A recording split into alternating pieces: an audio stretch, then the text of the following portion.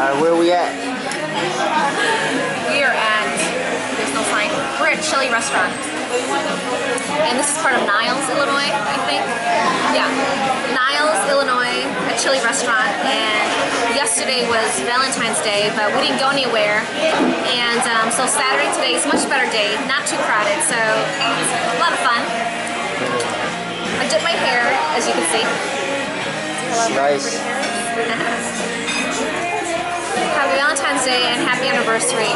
So yesterday, um, February 14th, 2014 is Freddie and I's ninth year wedding anniversary.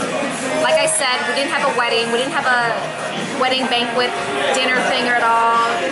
So it's no big deal. We just celebrate whenever we want. Every day should be a special day. So today is the day after Valentine's Day and the day after our anniversary. So it's still a lot of fun.